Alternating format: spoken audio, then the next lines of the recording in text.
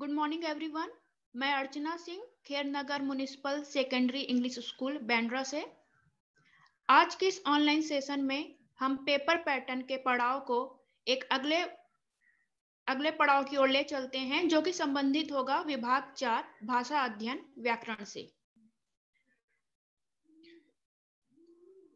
पिछले क्लास में हमने भाषा अध्ययन के बारे में थोड़ी सी जानकारी हासिल की थी, एक झलक सी देखी थी कि व्याकरण के लिए कुल प्रश्न चौदह अंकों के लिए आते हैं।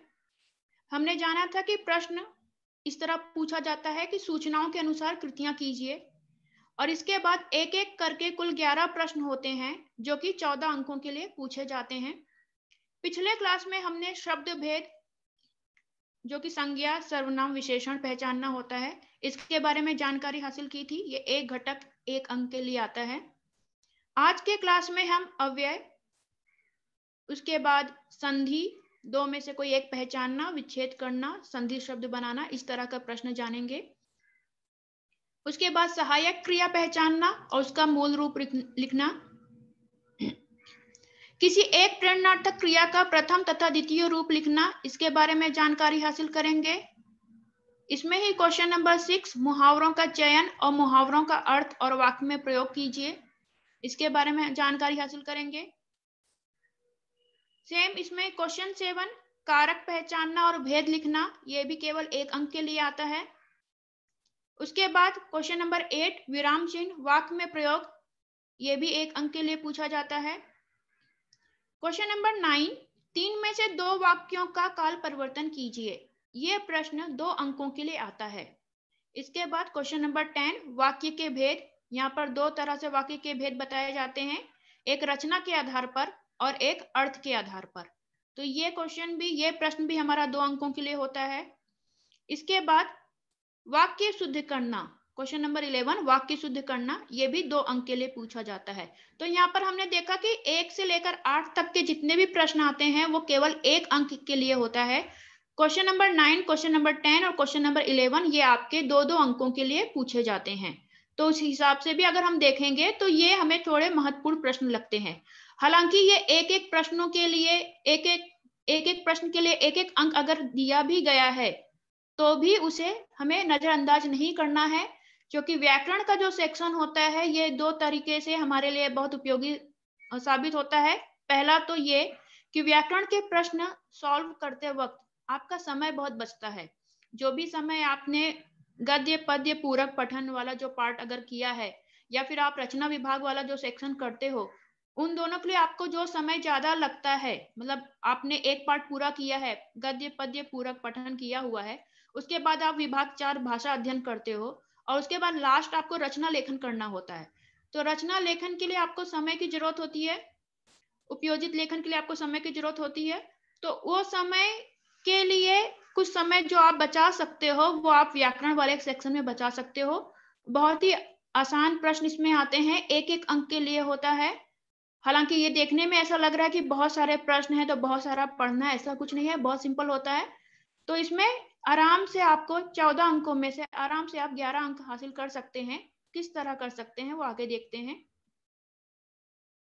पिछले क्लास में हमने शब्द भेद देखा था। शब्द भेद में आपको संज्ञा, सर्वनाम, विशेषण पहचानना होता है। यहाँ पर मैंने शॉर्ट में ही बताया था कि संज्ञा क्या होता है, सर्वनाम क्या होता है, विशेषण क्या होता है। क्योंकि ये हम बहुत पहले से ही पांचवी से ही पढ़ते आ रहे हैं। संज्ञा, किसी व्यक्ति वस्तु, स्थान, गुण, भाव आदि के नाम को संज्ञा कहते हैं। अगर कोई भी व्यक्ति है, किसी व्यक्ति का नाम हो या किसी वस्तु का नाम हो, किसी स्थान, जगह का नाम हो, कोई गुण हो या कोई भाव हो, उसका नाम हो तो उसे हम संज्ञा कहेंगे।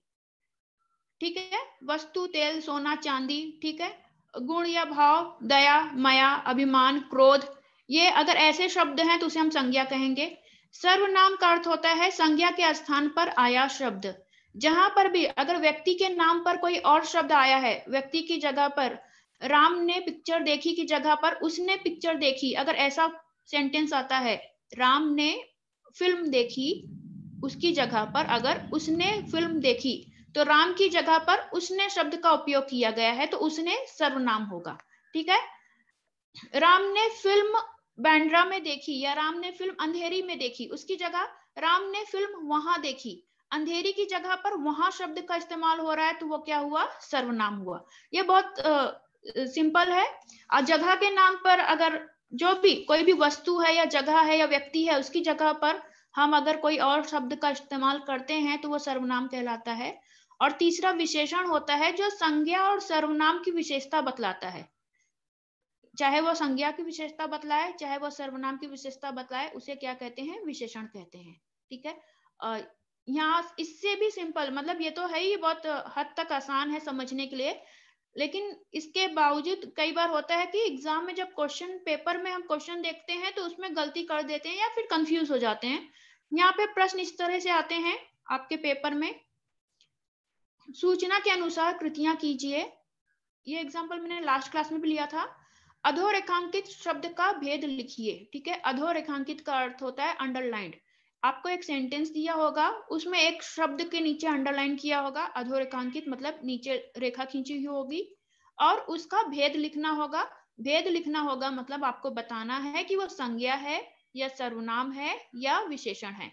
जब भी आपको कोई भी ऐसा सेंटेंस एग्ज़ाम में दिखता है एग्ज़ाम पेपर में मिलता है तो सबसे पहले जो भी शब्द को अंडरलाइन किया गया है आपको सोचना है कि क्या ये किसी व्यक्ति का नाम है या फिर किसी जगह का नाम है या फिर किसी वस्तु का नाम है या कोई गुण का नाम है कोई भी गुण कोई भी क्वालिटी कोई क्वालिटी के बारे में बताया है या फिर किसी व्यक्ति का नाम दिया है वस्तु का नाम दिया है या जगह का नाम दिया है तो हम देखेंगे कि ना ये किसी किसी व्यक्ति का नाम बौना नहीं होता है किसी जगह का नाम बौना नहीं है कोई वस्तु का नाम बौना नहीं होता है और ना ही बौना कोई गुण है तो इसका अर्थ ये हुआ कि ये संज्ञा का शब्द नहीं है इसके बाद फिर हम सेकंड सोचते हैं कि क्या यह संज्ञा की जगह पर इस्तेमाल किया गया शब्द है?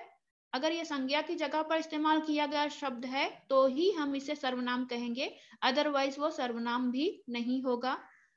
फिर तीसरा हमें यह देखना होता है कि ये जो बौना शब्द दिया गया है, ये किसी की विशेषता बतला रहा है क्या?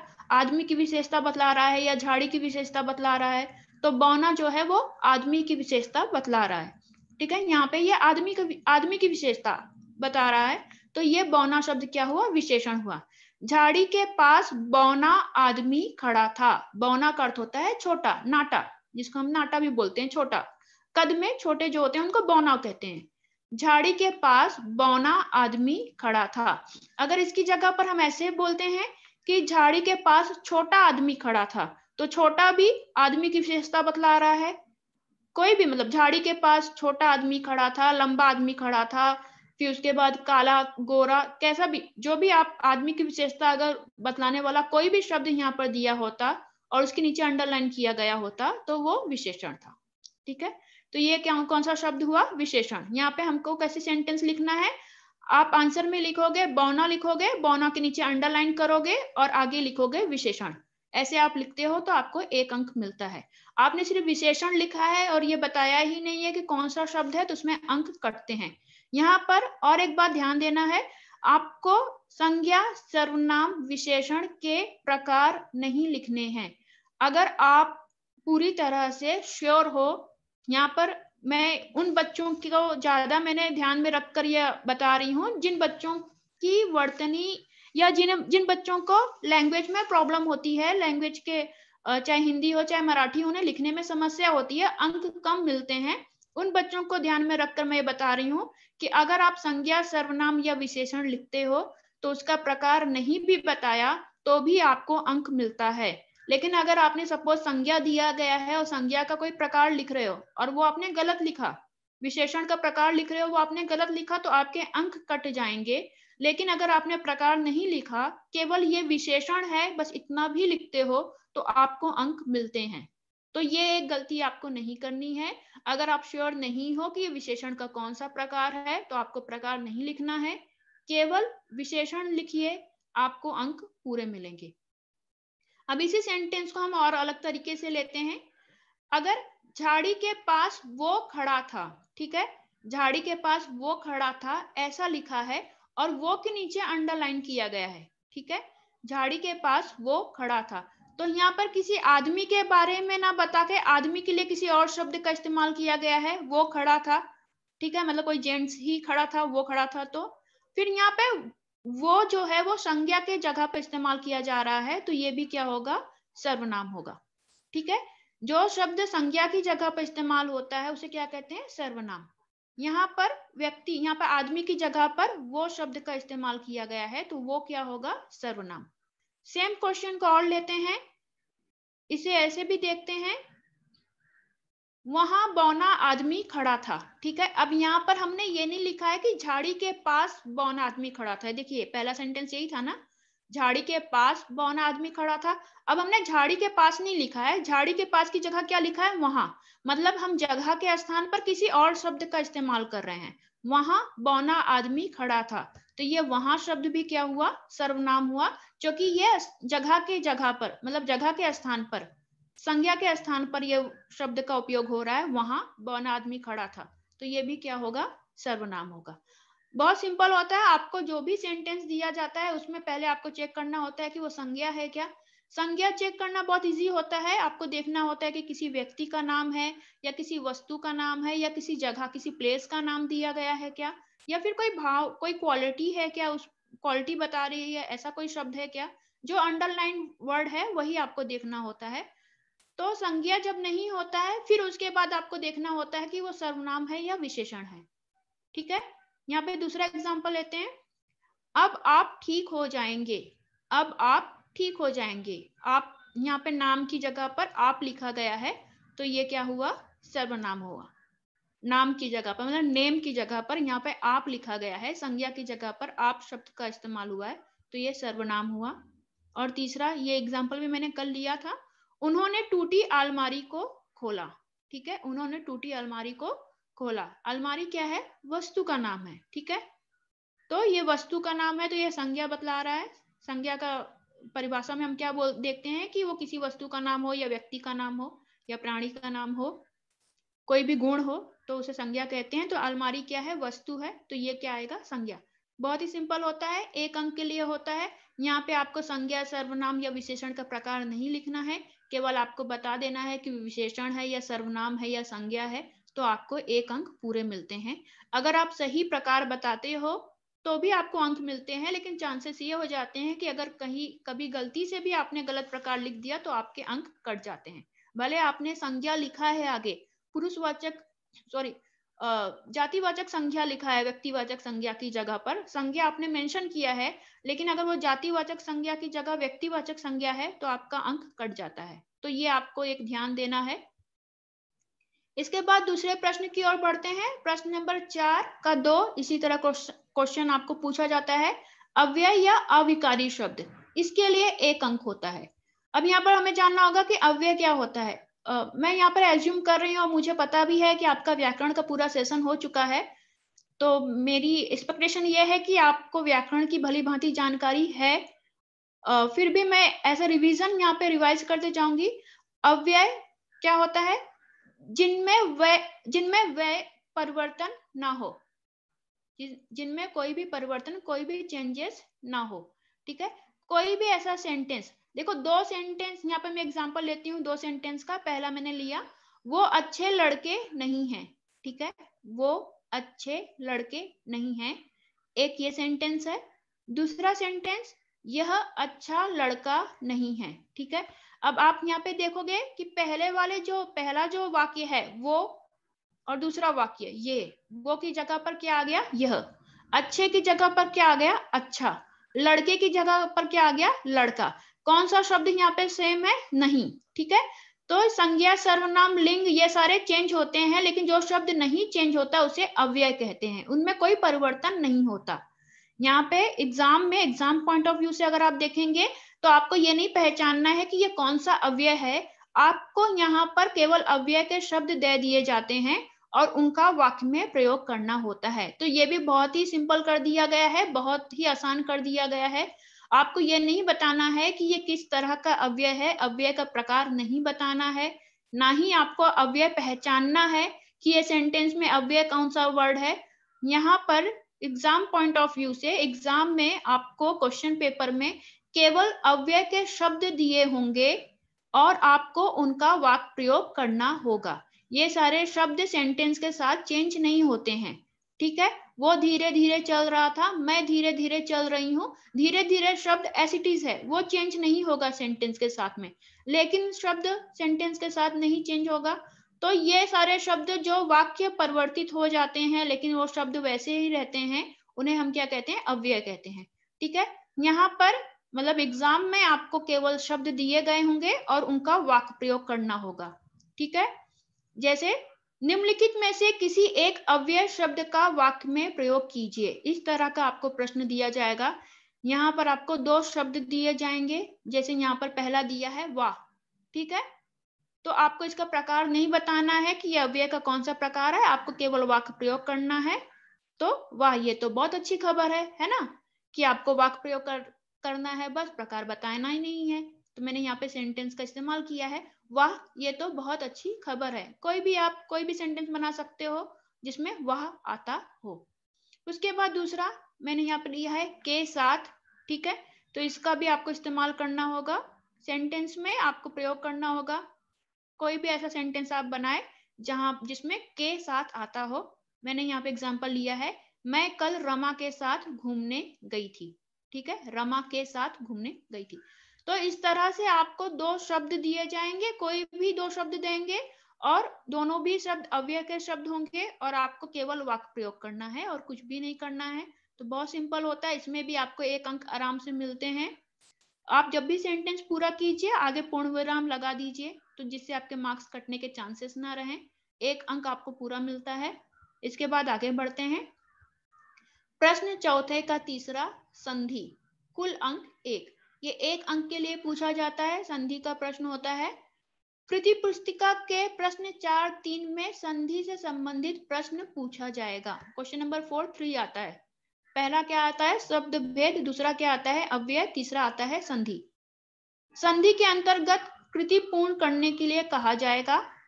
इसके अंतर्गत दो शब्द होंगे। आपको दो शब्द दिए जाएँगे। उसमें से किसी एक शब्द का संधि करना या संधि विच्छेद करना या संधि भेद पहचान कर लिखना होगा, ठीक है? और ये टोटल एक अंक के लिए ही होगा। आइधर आपको संधि कर, संधि विच्छेद करके दिया जाएगा और आपको उसकी संधि का भेद मतलब कौन से प्रकार का संधि है वो बताना होगा, ठीक है? या फिर आपको भेद बता दिया जाएगा वर्ड दे दिया जाएगा और उसका संधि विच्छेद करना होगा। इस तरह से आपको एक टेबल दिया जाता है। देखते हैं कैसे होते हैं वो प्रश्न।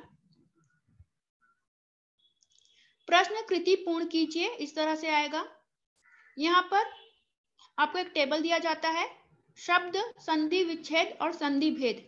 एक ऐसे आपको टेबल दिया जाएगा, आपको यहाँ पर शब्द दिया गया है उज्जवल। संधि विच्छेद करना है और संधि भेद बताना है। मतलब इसको संधि विच्छेद, ये कौन से दो शब्दों से मिलकर बना है, वो बताना है। और ये किस तरह का, कौन से टाइप का संधि है, वो बताना है। तीन प्रकार की संधि होती है स्वर संधि, व्यंजन संधि और विसर्ग संधि। स्वर संधि मतलब दो स्वरों के, अगर दो शब्द पास में आते हैं तो उससे अगर किसी स्वर में चेंज होता है तो उसे स्वर संधि कहते हैं। ठीक है? स्वर क्या होता है? आ से लेके अंग तक का जो शब्द है आ आ इ इ, उ इ ए ए ए ओ ओ ये सारे क्या हुए? स्वर हुए। ठीक है? आ आ, इ ई उ उ बेसिक लग रहा है मुझे पढ़ाने में। ए ए ओ ओ ये सारे क्या हुए? स्वर हुए। तो अगर कोई भी दो शब्द को नज़दीक मिलाया और उसमें से ऐसे स्वर निकलते हैं तो उसे स्वर संधि कहते हैं। व्यंजन संधि क्या होता है? स्वर या व्यंजन को मिलाकर अगर शब्द में कोई परिवर्तन होता है तो उसे व्यंजन संधि कहते हैं। और लास्ट में आता है विसर्ग संधि। उसमें विसर्ग का चिन्ह दिया जाता है और विसर्ग के बाद अगर किसी शब्द में कोई चेंज आता है तो उसे विसर्ग संधि कहते हैं। यहाँ पे आपको उज्ज्वल दिया गया है। संधि विच्छेद करना है मतलब ये शब्द को अलग अलग करना है और संधि भेद बताना है कि ये कौन से प्रकार की संधि है। या फिर आपको प्रश्न में ऐसे अथवा करके दिया जाता है और दूसरा क्वेश्चन आपको दिया जाएगा कि आपको संधि विच्छेद करके दिया होगा, आपको वो शब्द पहचानना होगा कि ये जिस शब्द का संधि विच्छेद किया गया है, वो शब्द क्या है और उस संधि का प्रकार क्या है। इस तरह से आपको प्रश्न दिए जाते हैं और आपको उसे सॉल्व करना होता है। हाफ़ हाफ़ अंक के लिए रहता है। अगर आपने संधि विच्छेद सही किया है, लेकिन संधि का प्रकार नहीं बता पाए हो तो भी आपको हाफ़ अंक मिलेगा। अगर आपने शब्द बता दिया है, संधि का प्रकार नहीं बता पा रहे हो तो भी आपको हाफ़ अंक मिलेगा। दोनों भी ऑप्शन जो होते हैं हाफ़ हाफ़ मार्क के लिए रहते हैं टोटल एक अंक होता है। यहाँ पे उत्तर हम देखते हैं, उज्जवल उत प्लस ज्वल व्यंजन संधि है। ता और जा दोनों भी व्यंजन के शब्द हैं। व्यंजन पता होगा आपको, का से लेकर ज्ञा तक का जो अक्षर होता है उसे व्यंजन कहते हैं। तो ता और जा दोनों भी व्यंजन है। ये संधि कौन सी है? व्यंजन संधि। अथवा जो दूसरा एग्ज़ाम्पल दिया गया था। प्रश्न और उत्तर, ठीक है? प्रश्न, उत्तर। हम इसको साथ में लेंगे तो क्या बोलते हैं? प्रश्नोत्तर। प्रश्नोत्तर। प्रश्नो ओ। ओ आ रहा है। ओ क्या है? स्वर है, ठीक है? तो ये क्या हुआ? स्वर संधि, प्रश्नोत्तर। ठीक है, यहाँ पे हम जब प्रोनाउंस करते हैं तो नो नो का क्या हुआ? ओ ठीक है? तो ओ क्या है? ये स्वर है तो ये स्वर संधि है। और ऐसी एक एग्ज़ाम्पल मैंने यहाँ पे लिया है, दुर्बल, जिस तरह से प्रश्न पूछा जाता है। दुर्बल में ये जो आपको, ये जो चिन्ह दिख रहा है, ये विसर्ग का चिन्ह होता है। अगर ये आपको ऐसा शब्द दिया जाता है, दुर्बल, और वहाँ पे विसर्ग का चिन्ह दिया हुआ है तो बड़े आराम से आप उसको विसर्ग संधि लिख सकते हो। ये जो दो चिन्ह है इसको र, दुर, रा प्रोनाउंस करते हैं तो ये क्या हुआ? दुर्बल। दुर्बल, निर्बल, ठीक है? निरज, ऐसे, जो भी र से आएगा, निराश। तो जो भी शब्द ऐसे विसर्ग वाले जो चिन्ह के साथ में रहते हैं विसर्ग संधि होता है, इजी होता है, ठीक है? स्वर संधि क्या हुआ? जो आ से लेकर अंक तक के जितने स्वर आएँगे उसको हम क्या कहेंगे? स्वर संधि। आप जब प्रश्न, ये प्रश्नोत्तर, इसको अगर हम साथ में पढ़ते हैं तो प्रश्नोत्तर आता है, ओ आता है तो ये स्वर संधि हुआ, ठीक है?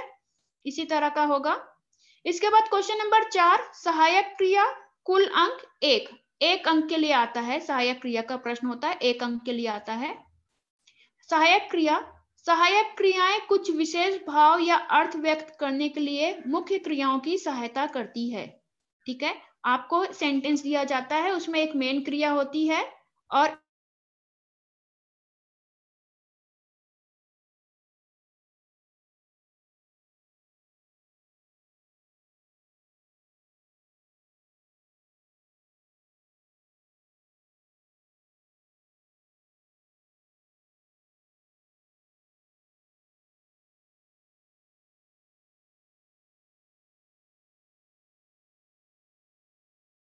उसको हेल्प को पूरा करने के लिए, ठीक है? यहाँ पर भी आपको इतना डिटेल में जाने की ज़रूरत नहीं है, मैं आपको बताती हूँ, प्रश्न किस तरह पूछा जाता है, उसका उत्तर क्या होता है, लेकिन आपको कंसेप्ट क्लियर होना चाहिए, इसलिए बता रही हूँ। सार्वजनिक अस्पताल का नाम सुनकर मैं काँप उठा। यहाँ पर दो क्रियाएँ हैं। दूसरा, टैक्सी एक पतली सी सड़क पर दौड़ पड़ी। यहाँ पर भी दो क्रियाएँ हैं, एक दौड़ना, दूसरा पढ़ना। तीसरा सिरचन की उंगलियों में सुतली के फंदे पड़ चुके। एक हुआ पढ़ना और दूसरा चुके चुकना, ठीक है? तो ये सारी यहाँ पे दो दो क्रियाएँ हैं। मेन क्रिया काँप है और कांपना है और उसको सहायक हेल्पिंग वर्ड क्या है? उठना, ठीक है? तो यहाँ पे हमें एक्चुअली सेंटेंस में कौन सा, कौन सी क्रिया सहायक क्रिया है, हमें बस वो बताना होता है और उसका मूल रूप लिखना होता है। जैसे ये वाले एग्ज़ाम्पल हम लेंगे तो मुख्य क्रिया है कांपना, दौड़ना, पढ़ना। सहायक क्रिया है उठा पड़ी चुके। लेकिन ये सहायक क्रिया कौन से मूल रूप से बनी है? उठना से उठा बना है, पढ़ना से पड़ी बनी है और चुकना से चुके बना है। तो ये जो दो कॉलम है ना, हमारे लिए काम का यही होता है। सहायक क्रिया पहचानना होता है। सहायक क्रिया नॉर्मली सामान्यता सेंटेंस का जो आखिरी वर्ड होता है, वो सहायक क्रिया होती है। क्रिया का हाँ। है, था, ये नहीं आएगा। सहायक क्रिया क्या होता है? जो सेंटेंस के लास्ट में जो वर्ड होता है, वो नॉर्मली सहायक क्रिया होती है, उसका हमें मूल रूप लिखना होता है। एग्ज़ाम्पल लेती हूँ, ज़्यादा इजिली समझ में आएगा। निम्नलिखित वाक्यों में से किसी एक वाक्य की सहायक क्रिया पहचान कर उसका मूल रूप लिखिए। ये एक अंक के लिए प्रश्न आता है। कोई भी एक वाक्य की सहायक क्रिया पहचानिए, उसका मूल रूप लिखिए। यहाँ पे मैंने सेंटेंस लिया है, लेकिन जरा नाश्ता तो कर लीजिए। ठीक है? लेकिन जरा नाश्ता तो कर लीजिए। यहाँ पे मुख्य क्रिया करना है, लीजिए, सहायक क्रिया है। हमें सिर्फ़ सहायक क्रिया पहचानना है। शब्द का जो आखिरी वर्ड है, ये लीजिए। अब ये देखना है कि ये लीजिए कौन सी क्रिया से बना है, इसका मूल फॉर्म क्या है ओरिजिनल फॉर्म क्या है, ये कौन से उससे बना है तो लेना से बना है। लेना से लीजिए, देना से दीजिए। समझ में आया? खाना से खाइए, नाचना से नाचिए, ठीक है? ये समझ में आया आपको? असहायक क्रिया आपको पहचानना है, लीजिए यह सहायक क्रिया है, फिर उसका मूल रूप लिखना है। उसका ओरिजिनल फॉर्म क्या है? मतलब कौन सी क्रिया से बना है वो? तो वो लेना से बना है। ऐसे ही एग्ज़ाम्पल है, ऐसा कदम सोच समझकर लेना होगा। होगा। होगा कौन सी क्रिया से बना है? वो आपको यहाँ पर लिखना हो। होगा किससे बना है? होना से। तो आंसर आपको ऐसे लिखना होता है, सहायक क्रिया और मूल क्रिया। सहायक क्रिया में आपको वो वर्ड पहचानना होता है। नॉर्मली आप देखेंगे सेंटेंस का लास्ट वर्ड जो होता है वो सहायक क्रिया ही होती है। लीजिए होगा। और उसका मूल रूप आपको लिखना होता है। लेना से लीजिए बना है, होना से होगा बना है। ठीक है? यहाँ पे कुछ और उदाहरण देती हूँ जिससे आपको ज़्यादा समझ में आए। दो, का मूल क्रिया क्या है? देना। देना से दो बना है। आया, आना, गए, जाना है, होना। नॉर्मली आप देखेंगे, क्रिया में जो मूल क्रिया होती है, उसमें ना आता है, ठीक है? खाना, पीना, आना, जाना, उठना, बैठना, ठीक है? सोना, जागना, सब में ना ना ना आ रहा है, लेकिन तुम्हें हाँ करके आना है, ठीक है? आंसर लिख के आना है, ओके? तो ये सहायक क्रिया, ये भी एक अंक के लिए होता होता है, बहुत ही सिंपल होता है। आपको सिर्फ़ सहायक क्रिया पहचान कर उसका मूल रूप लिखना होता है। का प्रेरणार्थक क्रिया यहाँ पे बच्चे हैंड रेज कर रहे हैं। मैं बताना चाहूँगी आपको कि मुझे व्याकरण आपको पढ़ाया गया है। आप उसके रिवाइज लेक्चर्स भी देख सकते हो। हमारा एक लेक्चर और होगा बाद में, जिसमें हम डाउट भी सॉल्व करेंगे। तो यहाँ पर हमें आगे पेपर पैटर्न पूरा करना है। तो आगे बढ़ते हैं। प्रेरणार्थक क्रिया। एक अंक के लिए हो कि कर्ता दूसरे के लिए काम कर रहा हो, उसे प्रेरणार्थक क्रिया कहते हैं। वंस अगेन आपको परिभाषा नहीं लिखना है, आपको प्रेरणार्थक क्रिया क्या बताना है, वो मैं आपको बताऊँगी, लेकिन यहाँ पर प्रेरणार्थक क्रिया होता क्या है, वो आपको बताना है। पहले, सीमा कहानी एग्ज़ाम्पल लेते हैं, सीमा कहानी लिखती है। इसमें कहानी लिखने का काम कौन कर रहा है, सीमा कर रही है, ठीक है? सीमा कहानी लिखती है। कहानी लिखने का काम कौन कर रहा है, सीमा कर रही है। प्रथम प्रेरणार्थक क्रिया, ठीक है? इसे हम क्या कहेंगे? प्रथम प्रेरणार्थक क्रिया। जो कहानी लिखने का काम एक ही व्यक्ति इसमें इन्वॉल्व है, वो जो है सीमा है, ठीक है? फिर उसके बाद दूसरा एग्ज़ाम्पल लेते हैं। पिताजी सीमा से कहानी लिखवाते हैं। ये द्वितीय प्रेरणार्थक क्रिया हुआ। यहाँ पे कहानी कौन लिख रहा है? सीमा लिख रही है। लेकिन लिखवाने का काम कौन कर रहा है? पिताजी कर रहे हैं, ठीक है? जैसे राहुल साइकिल चलाता है, ठीक है? राहुल साइकिल चलाता है तो राहुल खुद साइकिल चला रहा है, ठीक है? वो किसी को, वो प्रथम प्रेरणार्थक क्रिया हुआ। राहुल सुनील से साइकिल चलवाता है तो वो सुनील को प्रेरणा दे रहा है। राहुल साइकिल चलवा, साइकिल चलने का काम हो रहा है, साइकिल चल रही है, लेकिन राहुल खुद नहीं चला रहा है। राहुल सुनील से सुनील से साइकिल चलवाता है तो ये द्वितीय प्रेरणार्थक हुआ। अगेन, यहाँ पे आपको प्रथम प्रेरणार्थक क्रिया, द्वितीय प्रेरणार्थक क्रिया पहचानना नहीं है, सिर्फ़ उसको परिवर्तन करना है। उदाहरण लेते हैं। प्रथम प्रेरणात्मक क्रिया में डराना, उठाना, झुकाना, जिसमें केवल एक व्यक्ति का इन्वॉल्वमेंट होता है, उसे प्रथम प्रेरणार्थक क्रिया कहते हैं। जिसमें दो लोगों का इन्वॉल्वमेंट हो जाता है, उसे अद्वितीय प्रेरणार्थक क्रिया करते हैं। सिंपली ऐसा समझ सकते हैं। प्रेरणार्थक क्रिया मतलब जब हमें किसी को काम करने के लिए प्रेरणा देते हैं इंस्पायर करते हैं तो उसे प्रेरणार्थक क्रिया कहते हैं। ये द्वितीय प्रेरणार्थक डराना का क्या होगा? डरवाना।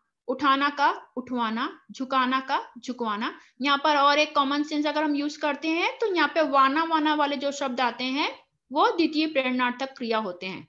ठीक है? अगर यहाँ पे डराना की जगह डराया लिखा होता तो यहाँ पे द्वितीय प्रेरणार्थक क्रिया आता, डरवाया। ठीक है? उठाया, उठवाया, झुकाया, झुकवाया। ठीक है? तो वाना और वाया कॉमन सेंस है ये, द्वितीय प्रेरणार्थक में आता है।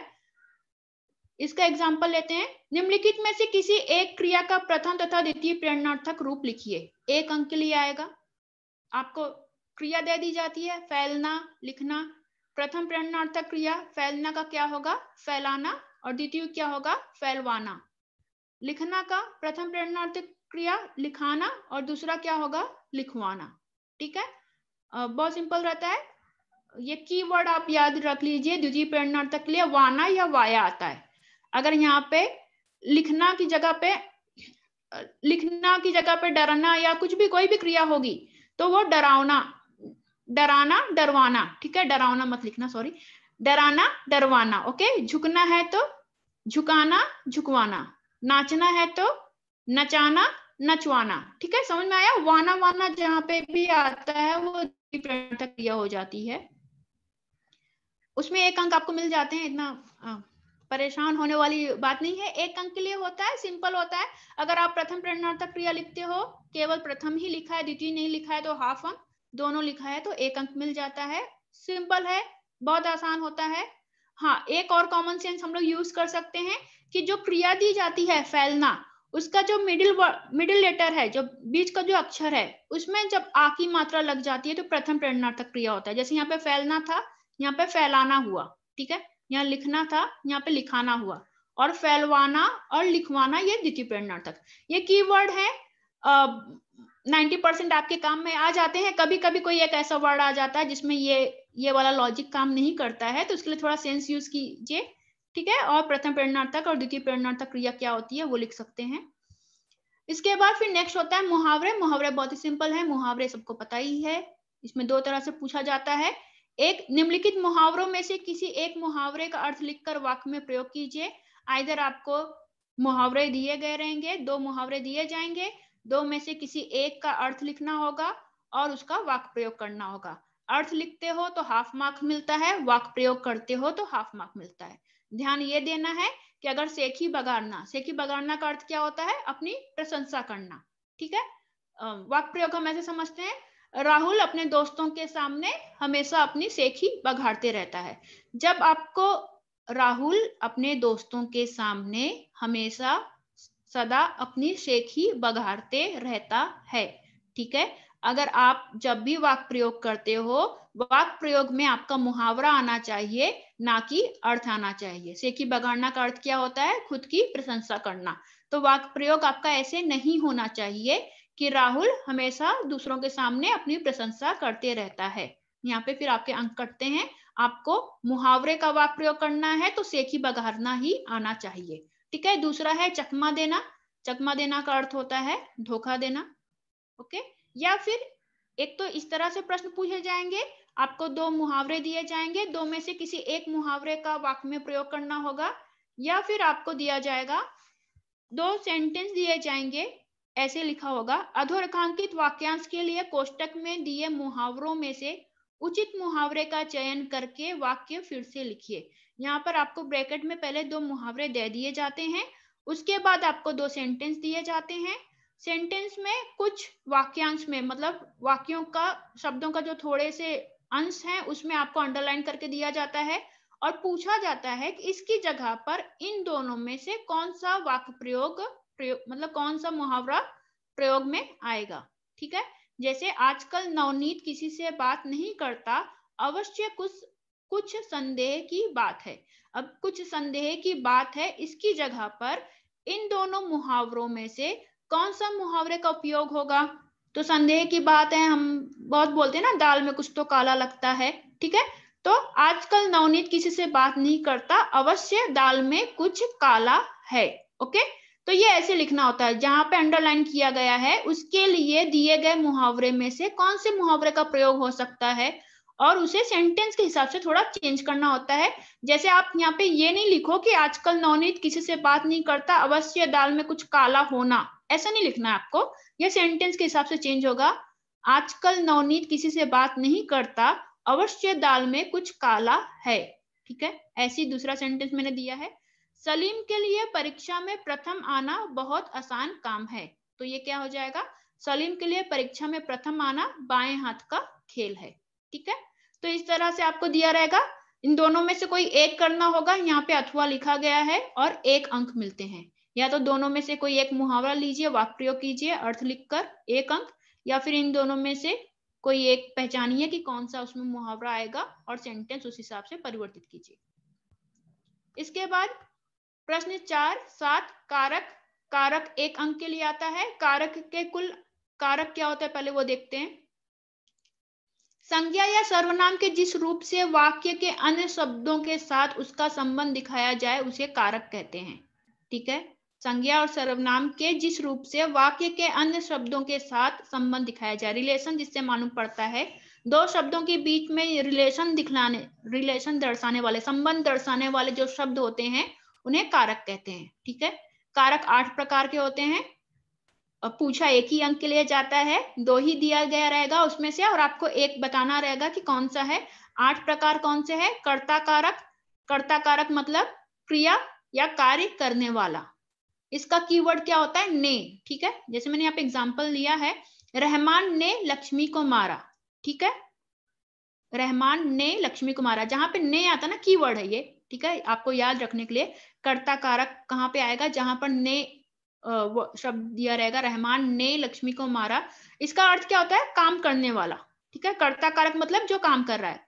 काम कौन कर रहा है? रहमान ने लक्ष्मी को मारा। मारने का काम कौन कर रहा है? रहमान। तो ये कीवर्ड हुआ, रहमान ने, ओके? जैसे माँ ने खिचड़ी पकाई, माँ ने पुलाव बनाया। सोच ही रहे हैं तो अच्छा सोचते हैं। माँ माँ ने पुलाव बनाया, ठीक है? तो माँ ने क्या बनाया? पुलाव पुलाव बनाने का काम कौन कर रहा है? माँ कर रही है, ठीक है? तो यहाँ पे कीवर्ड के लिए मैंने यहाँ पे बताया है, ने आता है तो वहाँ पे आपका कर्ता कारक आएगा। कर्म कारक जिस पर क्रिया कार्य का प्रभाव पड़े, जिस पर काम, जो भी काम हो रहा है, उसका प्रभाव पड़े, उसे कर्म कारक कहते हैं। जैसे, मानू ने सिरचन को पान दिया, मानू ने सिरचन को, किसे? सिरचन को। किसके ऊपर असर पड़ रहा है? सिरचन के ऊपर। सिरचन को पान दिया, ठीक है? फिर उसके बाद करण कारक होता है। करण कारक में जिसकी सहायता से कार हो, यहाँ पे से है ना, से, यही कीवर्ड हो जाता है। जहाँ पे आपका से आएगा, वहाँ पे करण कारक होगा इजी होता है। जिसकी सहायता से कार्य हो, जैसे सिरचन ने कुश से आसनी बनाई। किससे आसनी बनाई? कुश से, ठीक है? बच्चों ने स्केच पेन से पेंटिंग बनाई स्केच पेन से, ठीक है? तो जिसकी सहायता से कार्य हो, वो होता है। उसके बाद संप्रदान कारक संप्रदान कारक होता है, जिसके लिए कार्य किया जाए, जिसके लिए काम किया जा रहा है, ठीक है? उसे संप्रदान कारक कहते हैं। लेखक ने कवि के लिए चाय बनाया। यहाँ पे ना के लिए, ये जो है ना, ये आपका कीवर्ड हो जाता है, के लिए। ये वाले सेंटेंस में के लिए आता ही है। जब भी के लिए आएगा तो आप लिख सकते हो कि वो संप्रदान कारक है क्योंकि उसका परिभाषा ही यही होता है, जिसके लिए कार्य किया जाए। लेखक ने कवि के लिए चाय बनाया। अपादान कारक। अपादान कारक क्या होता है? जिससे किसी वस्तु के दूर होने या अलग होने का बोध हो। पता चले। बोध हो मतलब पता चले। विद्यालय घर से तीन किलोमीटर दूर है। घर से। विद्यालय घर से तीन किलोमीटर दूर है। अब यहाँ पे ये वाला से और पहले जो हमने से देखा था, दोनों में अंतर है। यहाँ पे ये घर से मतलब घर से कितनी दूरी पर है? दूरी बतला रहा है। ठीक है? ये थोड़ा ध्यान देना होगा। घर से, जब भी आपको किसी वस्तु के दूर होने या अलग होने का बोध होता हो, जैसे लक्ष्मी वाले पार्ट में था कि गौशाला यहाँ से दो किलोमीटर दूर है। ओके? दूरी का बोध करता हो, दूरी का बोध मतलब दूरी का पता चलता हो, उसे अपादान कारक कहते हैं। संबंध कारक बहुत सिंपल होता है, जिससे संज्ञा का किसी अन्य संज्ञा के साथ संबंध स्थापित हो, किसी एक शब्द का, संज्ञा शब्द का, किसी दूसरे शब्द के साथ संबंध स्थापित हो। लक्ष्मी ज्ञान सिंह की निशानी है, ठीक है? ये उसका घर है, ओके? का, की, ठीक है? का, की, के, ये सारे संबंध कारक ओके? जिसको बिलोंग करते हो उस तरह से। उसके बाद अधिकरण कारक जिस शब्द से कार्य के आधार का बोध हो मतलब कार्य का काम जो हो रहा है, उसका बेस क्या है, वो पता चले, उसको क्या बोलते हैं? अधिकरण कारक जैसे करामत अली ने लक्ष्मी के पीठ पर दवा लगाई, ठीक है? रहमान ने लक्ष्मी के पीठ पर डंडे बरसाए, पीठ पर ओके पीठ पर। कहाँ पे कार्य हो रहा है? आधार क्या है? पीठ ओके उसके बाद संबोधन कारक जिस शब्द के साथ किसी को पुकारा जाए, ये बहुत सिंपल होता है। मतलब जिसे पुकारा जाए, संबोधन संबोधन मतलब पुकारना, किसी को पुकारना। जैसे, अरे अरे मीनू तो ये क्या हुआ? संबोधन कारक हुआ। हम लोग का तो अलग ही रहता है, ओए सुन ठीक है? तो वो ओए सुन नहीं आता है। एग्ज़ाम में अरे शब्द आएगा मतलब अरे शब्द आ सकता है। अरे मीनू, जरा पान भिजवाना ओके? जिसे पुकारने का, पुकारा जा रहा है, ऐसा पता चले। वो शब्द क्या हुआ? संबोधन कारक ये आठ तरह के कारक हैं। इसमें से आपको सेंटेंस दिया जाएगा। सेंटेंस में से कोई भी एक वाक्य में जो भी कारक चिन्ह है, उसे पहचान कर उसका भेद लिखना होगा। जैसे यहाँ पे है, मैंने दो दिया है। मेहमानों ने भोजन किया और लाडली को काकी से अत्यंत प्रेम था। मेहमानों ने, ठीक है? यहाँ पे ने आया मतलब काम कौन कर रहा है? मेहमान कर रहा है। लाडली को काकी से अत्यंत प्रेम था, ठीक है? तो वो दोनों आपको इजी है, समझ में आया होगा। यहाँ पे मेहमानों ने मतलब काम कर काम कौन कर रहा है? मेहमान कर रहा है ओके कर्ता कारक ओके इसके बाद विराम चिन्ह एक अंक के लिए आता है। निम्नलिखित वाक्य में यथास्थान उचित विराम चिन्हों का उपयोग करके वाक्य फिर से लिखिए। एक अंक के लिए पूछा जाता है, ठीक है? आपको सेंटेंस दिया जाता है। सेंटेंस में से सेंटेंस में एक भी विराम चिन्ह नहीं होता है। ना ही उसमें पूर्ण विराम होता है, ना ही अल्प विराम होता है। कोई भी उसमें विराम चिन्ह नहीं होता है, वो आपको लगाना होता है और फिर बताना होता है।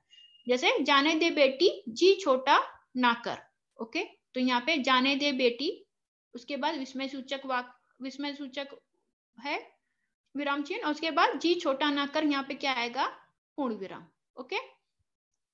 फिर, कितने प्रकार के होते हैं विराम चिन्ह? पहला होता है पूर्ण विराम, जब सेंटेंस खत्म होता है, उसके बाद हम पूर्ण विराम फुल स्टॉप जिसे बोलते हैं, पूर्ण विराम लगाते हैं। रात के ग्यारह बज गए थे पूर्ण विराम आया। अगर आप पूर्ण विराम नहीं लगाते तो हाफ़ अंक कट होता है। किसी भी सेंटेंस में जहाँ ग्रामर वाला जो क्वेश्चन रहता है, उसमें भी अगर नॉर्मल आप निबंध भी लिखते हो और पूर्ण विराम नहीं लगाते हो तो आपके अंक कटते हैं। तो वाक्य जब खत्म होता है, उसके बाद जो पूर्ण विराम फुल स्टॉप लगाते हैं उसे पूर्ण विराम ये उसका सिंबल है। उसके बाद अल्प विराम कॉमा जिसे कहते हैं, ऐसी कारीगरी, ऐसी बारीकी, ऐसा काम पहली बार देख रहा था। ठीक है? जहाँ पे छोटा छोटा सा गैप हो छोटा छोटा सा, जब हम बोलते हैं तो छोटा छोटा सा गैप हो। ऐसी कारीगरी, ऐसी बारीकी, ऐसा काम पहली बार देख रहा था। इसे अल्प विराम कहेंगे। अर्ध विराम क्या होता है? अल्प विराम से थोड़ा ज़्यादा समय के लिए जब हम रुकते हैं तो उसे अर्ध विराम कहते हैं। जैसे, सभा सोसाइटियों में जाते हैं, मगर चाहते हैं लड़की ज़्यादा पढ़ी लिखी ना हो, ठीक है? सभा सोसाइटियों में जाते हैं मगर चाहते हैं लड़की ज़्यादा पढ़ी लिखी ना हो। तो यहाँ पे ये जो आया है, ये अर्ध विराम है। इसके बाद प्रश्न सूचक चिन्ह। ये गाय क्या आप लोगों की है? क्वेश्चन मार्क जिसे बोलते हैं क्वेश्चन मार्क जहाँ पे भी क्वेश्चन पूछा जाए, वहाँ पे क्वेश्चन मार्क आता है। उसके बाद योजक चिन्ह, जैसे मैंने पहले भी बताया था, शब्द युग्म के लिए हमें योजक चिन्ह का इस्तेमाल करते हैं, पढ़े लिखे, ठीक है? खुद पढ़े लिखे हैं। तो ये जो है योजक चिन्ह हुआ। फिर विस्मय सूचक चिन्ह। सचमुच अद्भुत, आनंद आ गया। वाह वाह, ये तो बहुत अच्छी बात है। अरे रे, ये कौन आ गया? तो जहाँ पे भी ऐसे विस्मय सूचक विस्मय सूचक शब्द होते हैं, वहाँ पे हम ये वाले चिन्ह लगाते हैं। एक हरा उदाहरण चिन्ह मतलब सिंगल इन्वर्टेड कामा उपनाम के लिए नॉर्मली उपनाम के लिए या पद नाम के लिए हम इसका इस्तेमाल करते हैं सूर्यकांत त्रिपाठी, निराला। निराला उनका उपनाम था। तो इसके लिए सिंगल इन्वर्टेड कॉमा रहता है। डबल इन्वर्टेड कॉमा दोहरा उदाहरण चिन्ह मैं पहले ही पूछ लेता, भोग क्या क्या लगेगा? ये कैसे होता है? जब कोई सेंटेंस हम लोग एसिटीज रखते हैं मतलब उसको परिवर्तित नहीं करते हैं। जिसने जैसे बोला है, वो सेंटेंस को हम वैसे ही लिखते हैं, उस, उनके शब्दों में लिखते हैं तो उसमें हम डबल इन्वर्टेड कॉमा दोहरा उद्धरण चिन्ह लगाते हैं। जैसे, नेताजी सुभाष चंद्र बोस जी ने कहा था, तुम मुझे खून दो, मैं तुम्हें आज़ादी दूँगा। अब ये सेंटेंस बोल तो मैं रही हूँ, लेकिन मैंने किसका सेंटेंस है ये? सुभाष चंद्र बोस जी का। लेकिन मैंने उसमें कुछ चेंजेस नहीं किया तो जब मैं ये लिखूँगी कि तुम मुझे खून दो, मैं तुम्हें आज़ादी दूँगा तो ये मैं डबल इन्वर्टेड कामा में लिखूँगी कि ऐसा सेंटेंस सुभाष चंद्र बोस जी ने बोला था ओके फिर उसके बाद विवरण चिन्ह, जैसे हम लोग लिखते हैं संज्ञा के भेद, उसके प्रकार, ठीक है? सर्वनाम के इतने प्रकार होते हैं, विशेषण कितने प्रकार होते हैं तो उसमें हम लोग ये वाला सिंबल यूज़ करते हैं। कोष्टक चिन्ह ये भाव दर्शाने के लिए जब आप ड्रामा जो भी आपका नाटक वाला पार्ट है जैसे रीढ़ की हड्डी वो आपका नाटक का पार्ट है उसमें जो भाव दर्शाता है चौंक कर समझ कर मायूस होकर ठीक है?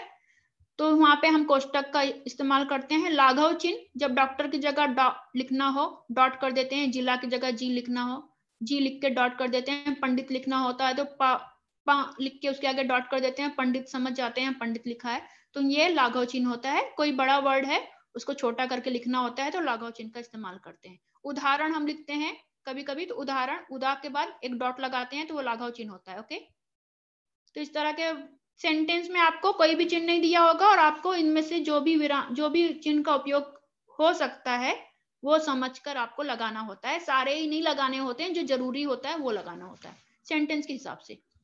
फिर क्वेश्चन नंबर फोर का नाइन काल परिवर्तन, दो अंक के लिए आता है। किन्हीं दो वाक्यों का कोष्टक में दी गई सूचना के अनुसार काल परिवर्तन कीजिए। सामने से कार आई, ये अपूर्ण भूत या तो इसे अपूर्ण भूत काल में बदलिए, या सामान्य वर्तमान काल में बदलिए, ठीक है? अपूर्ण भूतकाल अपूर्ण वर्तमान काल में क्या होता है? रहा है, रही है, रहा रहे थे, रहा था, रही थी, ठीक है? था, थी, थे आ जाएगा तो रहा के साथ था, थी, थे आ जाएगा तो अपूर्ण भूतकाल हो जाएगा। रहा रही रहे के साथ है आ जाता है तो अपूर्ण वर्तमान काल हो जाता है। सामान्य वर्तमान काल क्या होता है वो बताती हूँ, देखिए। यहाँ पे सामने से एक कार आई, अगर अपूर्ण भूतकाल में परिवर्तित करेंगे तो सामने से एक कार आ रही थी रही थी, ठीक है? अगर यहाँ पे अपूर्ण भूतकाल की जगह अपूर्ण वर्तमान काल होता तो सामने से एक कार आ रही है, ओके? दूसरा मैंने दिया है, इसी सेंटेंस को सामान्य वर्तमान काल में अगर चेंज करेंगे, अपूर्ण वर्तमान काल नहीं, बल्कि सामान्य वर्तमान काल में अगर चेंज करेंगे तो सामने से एक कार आती है, ता, ती, ते, और उसके आगे है, अगर आता है तो वो सामान्य वर्तमान काल होता है, ठीक है? पिछले महीने उमा की आँखें दुखने लगी पूर्ण भूत काल में इसको परिवर्तित करना है। पिछले महीने उमा की आँखें दुखने लग गई थी, ओके? पूर्ण भूत काल में हो जाएगा। बड़े भैया की चिट्ठी आई थी। पूर्ण वर्तमान काल में बदलना है? तो कैसे होगा? सॉरी बड़े भैया की चिट्ठी आई है ओके यही सेंटेंस बड़े भैया की चिट्ठी आई थी, अगर समान भविष्य काल में बदलना है तो बड़े भैया की चिट्ठी आएगी, ठीक है? तो इस तरह से आपका होता है, समान वर्तमान काल, अपूर्ण वर्तमान काल, पूर्ण वर्तमान काल तीन हो गए। सामान्य भूतकाल, अपूर्ण भूतकाल, पूर्ण भूतकाल तीन छह हो गया और उसके बाद आपका एक नॉर्मल आता है, सामान्य भविष्य काल इस तरह से आपको सेंटेंस दिया रहता है। ब्रैकेट में जो भी, जिस तरह की भी सूचना दी गई है, उस हिसाब से आपको का सेंटेंस चेंज करना होता है। फिर प्रश्न नंबर चार, दसवां, रचना भेद, दो अंक, ये दो तरह का होता है। एक तो होता है, निम्न क्वेश्चन इस तरह आता है। निम्नलिखित वाक्य का रचना के आधार पर भेद पहचान कर लिखिए। यहाँ पे रचना के आधार पर आपको बताना होता है कि सरल वाक्य है या संयुक्त वाक्य है या फिर मिश्र वाक्य है, ठीक है? काकी बुद्धिहीन होते हुए भी इतना जानती थी कि मैं वो काम कर रही हूँ। यहाँ पे की का इस्तेमाल किया गया, ये मिश्र वाक्य है। मिश्र वाक्य क्या होता है? जब second part of sentence first part of sentence पे डिपेंडेंट होता है, ठीक है? तो उसे मिश्र वाक्य कहते हैं। सिंपली लेते हैं, जहाँ पर की, ताकि, बल्कि, क्योंकि तो ऐसा आता है। ठीक है, ये इसमें एक पार्ट एक पार्ट जो है वाक्य का, वो दूसरे पार्ट पे डिपेंडेंट होता है तो उसे मिश्र वाक्य कहते हैं। ओके? ताकि, बल्कि, क्योंकि तो ये कीवर्ड है। कीवर्ड भी अगर आपको याद रहता है तो आप समझ सकते हो कि वाक्य मिश्र वाक्य है या कौन सा वाक्य है। संयुक्त वाक्य के लिए कीवर्ड होते हैं, और, अथवा, तथा, या। ठीक है? मैं मैं बाज़ार जा रहा था और मैंने सोचा, घर लौटते वक्त मिठाई भी लेता चलूँ। अच्छा सेंटेंस है। ओके संयुक्त वाक्य में और, अथवा, तथा, या। इस तरह के शब्दों का इस्तेमाल होता है। ये कीवर्ड में बता रही हूँ, जिससे आपको सेंटेंस जल्दी समझ में आए। उसका सरल वाक्य होता है, सरल वाक्य में केवल एक ही मुख्य क्रिया होती है। दो क्रिया नहीं होती है, एक ही होती है तो उसे सरल वाक्य कहते हैं। फिर उसके बाद दूसरा क्वेश्चन इस तरह आ सकता है, निम्नलिखित वाक्यों में से किसी एक वाक्य का अर्थ के आधार पर दी गई सूचना सूचना अनुसार परिवर्तन कीजिए। यह भी एक अंक के लिए पूछा जाता है। यहाँ पे आपको एक सेंटेंस दिया जाता है। सेंटेंस के सामने कोष्टक में आपको दिया जाता है कि आपको कैसे चेंज करना है। जैसे ये सेंटेंस है, इसको आपको प्रश्नार्थक बनाना है। मतलब ऐसा सेंटेंस बनाना है, इसी सेंटेंस को ऐसे चेंज करना है कि जैसे लगे उसमें क्वेश्चन पूछा गया है। तो यहाँ पे कैसे हो जाएगा? कोई सेंटेंस था, अब हम उसका आए दिन प्रयोग कर सकेंगे। और चेंज करने के बाद कैसे हो गया? क्या अब हम उसका आए दिन प्रयोग कर सकेंगे? ठीक है? यहाँ पे क्वेश्चन मार्क आना चाहिए। बाई मिस्टेक ये पूर्ण विराम आया है। यहाँ पे क्या आएगा? क्वेश्चन मार्क आएगा। क्या अब हम उसका आए दिन प्रयोग कर सकेंगे? फिर दूसरा, तुम्हें अपना ख्याल रखना चाहिए। आज्ञा था इसको क्या करना है? आज्ञा देने वाला वाक्य बनाना है। तुम्हें अपना ख्याल रखना चाहिए। ये सेंटेंस को आज्ञार्थक वाक्य बनाना है। तो कैसे हो जाएगा? तुम अपना ख्याल रखो। ठीक है? यहाँ पे हम आज्ञा दे रहे हैं तुम अपना ख्याल रखो ओके? तो ये हो गया रचना भेद। इसके बाद लास्ट क्वेश्चन नंबर फोर का इलेवन वाक्य शुद्धिकरण दो अंक के लिए पूछा जाता है। आ, ये भी बड़ा ये बहुत सिंपल होता है एक्चुअली निम्नलिखित वाक्यों में से किन्हीं दो वाक्यों को शुद्ध करके फिर से लिखिए दो अंक के लिए होता है। कोई भी दो सेंटेंस दिया जाएगा। उसको जब आप पढ़ोगे ना सेंटेंस तभी आपको उसमें गलती समझ में आ जाती है कि इसमें मिस्टेक क्या है। जैसे मैंने यहाँ पे एग्जांपल लिया है, मैं मानू के साथ जाएगा। ये अपनी बड़ी लोकल वाली लैंग्वेज हो गई, है ना? मैं मानू के साथ जाएगा तो ये सेंटेंस कैसे होना चाहिए? मैं मानू के साथ जाऊँगा ओके यहाँ पे पूर्ण विराम नहीं रहा तो पूर्ण विराम आपको लगा देना है। वाक्य शुद्ध करके लिखना है। मतलब यहाँ पे ना आपको ग्रामेटिकली मिस्टेक जब आप सेंटेंस पढ़ते हो, तभी आपको समझ में आएगा कि वो गलत लिखा है, इसके साथ में ऐसे लिख दिया जाएगा, मैं मानू की साथ जाऊँगा। मतलब यहाँ पे मानू के है ना तो ऐसे भी लिख सकते हैं, मैं मानू की साथ जाऊँगा। तो सेंटेंस गलत है ना, मानू की साथ जाऊँगा नहीं होगा, जाऊँगी होगा। और मानू की नहीं होगा, मानू के साथ जाऊँगी होगा ओके तो इस तरह से आपको सेंटेंस दिया जाता है और उसमें आपको गलती क्या है, वो हटा के सेंटेंस को सही करके लिखना होता है। सिरचन जाता जाता रुक गया। तो यहाँ पे क्या होगा? सिरचन जाते जाते रुक गया, ठीक है? ना कि जाता जाता, सिरचन जाते जाते रुक गया ओके तो ये दो अंक के लिए होता है। लास्ट के जो तीन क्वेश्चन होते हैं, काल परिवर्तन और रचना के भेद मतलब जो आपको वाक्य के भेद होते हैं वो, और ये तीसरा वाक्य शुद्धिकरण, ये दो दो अंकों के लिए होता है, छह अंक। बाकी के सारे क्वेश्चन एक एक अंक के लिए होते हैं। टोटल आपके चौदह अंक के प्रश्न होते हैं। यहाँ पे एक और एग्ज़ाम्पल मैंने लिया है। आपने आपने भ्रमण तो काफ़ी किया है। ये लास्ट ईयर आया था क्वेश्चन पेपर में। तो इसका सही आंसर क्या है? आपने भ्रमण तो काफ़ी की है। भ्रमण मतलब घूमना। आप बहुत घूमे हो। ठीक है? आप बहुत जगह घूमे हो। घूमना। भ्रमण का अर्थ होता है घूमना। ओके फिर ये इस तरह से आपके सेंटेंस होते हैं। उसको आपको शुद्ध करके लिखना होता है। यहाँ पर मैं बस इतना ही। व्याकरण के चौदह तरह के प्रश्न पूछे जाते हैं। उसका उत्तर लिखते समय क्या क्या अपेक्षित होता है, किस तरह से आपको उत्तर लिखना होता है, उसके बारे में मैंने आपको विस्तृत जानकारी दी, डिटेल में बताया। चौदह अंक के लिए आपको बीस मिनट से ज़्यादा समय नहीं लगना चाहिए और चौदह अंक में आपको बड़े आराम से ग्यारह अंक तक मिल सकता है। ठीक है? बहुत आराम, बहुत ही सिंपल प्रश्न होते हैं। उनके उत्तर आप एक बार, दो बार ग्रामर के प्रश्न आप जब भी करते हैं, आप कभी भी ऐसे सिर्फ़ संज्ञा मतलब शब्द भेद के सारे शब्द लेकर मत कीजिए। जब भी आप करिए, आपकी टेक्स्ट बुक के पीछे भी बहुत सारा ग्रामर का पोर्शन दिया गया है और नॉर्मली क्वेश्चन पेपर में जो ग्रामर आता है, वो टेक्स्ट बुक में से ही आता है। ठीक है? जैसे सरल वाक्य दिया है टेक्स्ट बुक में दिया है, सरल वाक्य है, इसको संयुक्त वाक्य में परिवर्तित कीजिए। या फिर कोई भी आगे अर्थक वाक्य है, उसको प्रश्नवाचक में बदलिए तो एग्ज़ाम में उसको उल्टा कर देंगे कि प्रश्नवाचक दिया है और आगे अर्थक में बदलिए। तो ये ऐसे छोटे छोटे उसमें चेंजेस होते हैं। अदरवाइज़ पूरा का पूरा ग्रामर आपका टेक्स्ट बुक में से ही आता है। और यहाँ पर हमने ये नोटिस किया कि यहाँ पे मैंने जो एग्ज़ाम्पल लिया था, उसमें लक्ष्मी वाले पार्ट से या गोवा जैसे मैंने देखा, ये पार्ट से भी मैंने एग्ज़ाम्पल लिया है। ये पार्ट सिलेबस में नहीं है, लेकिन मेंशन किया गया है, इसमें से ग्रामर का पोर्शन आ सकता है। व्याकरण व्याकरण के लिए जो भी रचना रचना बिंदु है या जो भाषा अध्ययन है उसके प्रश्न जो पार्ट निकाले जा चुके हैं उसमें से भी आ सकते हैं। तो आप सारे ही पार्ट के पीछे जो भी ग्रामर दिया गया है उसे करना कंपलसरी है। और इस चौदह अंक में आपको आराम से चौदह अंक मिले। ऐसे आ, ऐसे उम्मीद के साथ धन्यवाद।